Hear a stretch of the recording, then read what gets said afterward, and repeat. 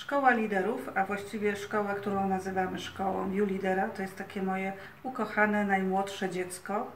Ono wynika z bardzo takiego silnego zapotrzebowania na rynku, żeby było miejsce, gdzie osoby, które pełnią funkcje liderów w różnych organizacjach, miały gdzie zająć się sobą. Także w zasadzie jest to szkoła skoncentrowana na psychologii lidera, ale psychologii lidera, który funkcjonuje w świecie zmiany, i który podziela nasze wartości, a są to nauka w działaniu, praca na mocnych stronach e, i funkcjonowanie w taki sposób, żeby różne sytuacje, kryzysy, konflikty, trudności i różne obroty ciał niebieskich można było wykorzystać jako naukę. Także U-Leader to jest lider, który działa przez uczenie i przez wspieranie innych My w naszej szkole staramy się robić to samo w stosunku do osób, które do niej uczęszczają.